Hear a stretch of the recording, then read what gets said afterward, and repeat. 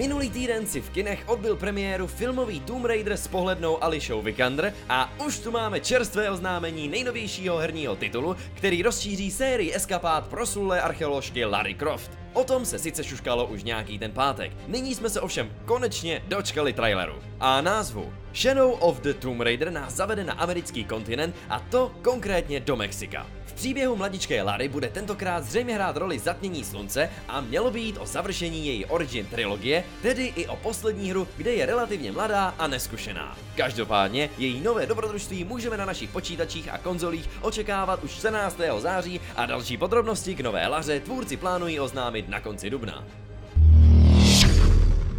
Také se vám stýská pohrách s Geraltem z Rivie v hlavní roli a od dohrání třetího zaklínače jsou všechna RPGčka nudná a všední? Nevěžte hlavu. Bandai Namco přichází s řešením v podobě Soul Calibur 6. Trochu nepravděpodobná spolupráce mezi polským CD Projektem a japonskými vývojáři splodila ovoce v podobě bílého vlka, co by jedné z hratelných postav.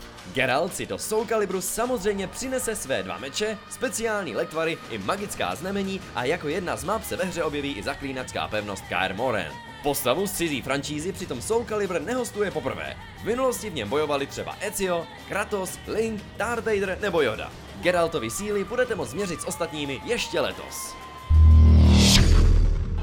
Brutální kooperační řežba proti skavenům a splozencům chaosu u hráčů boduje. Warhammer Vermintide 2 se minimálně nad očekávání dobře prodává, protože za méně než týden prodala přes půl milionu kusů, což je na prozatím čistě počítačový titul docela úctyhodné číslo. Svůj podíl na to má nejspíš i cena, která nepřekročila hranici 30 dolarů. Studio Fetchark momentálně pracuje na nápravě všech možných bugů, především těch, které některým udatným hrdinům brání dokončit hlavní kampaň.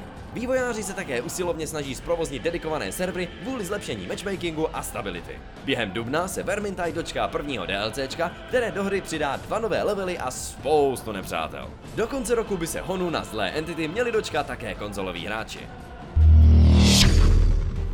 Lepší pozdě než nikdy. A sice pozdě, ale přece.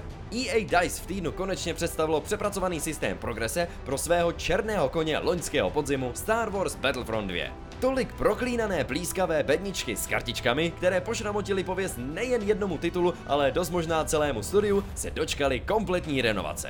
Všechny předměty, které nějak ovlivňují hratelnost, tedy kromě karet i různé varianty herní měny, z nich na dobro zmizely. Bonusy nyní získáte pouze za dosažené levely s jednotlivými třídami, hrdiny a loděmi. Bedinky budou nadále obsahovat pouze kosmetické předměty a není možné je nakoupit za reálné peníze. Počty hráčů ale i po změnách naznačují, že jde spíše o marný pokus o resuscitaci dávno pohřbené hry.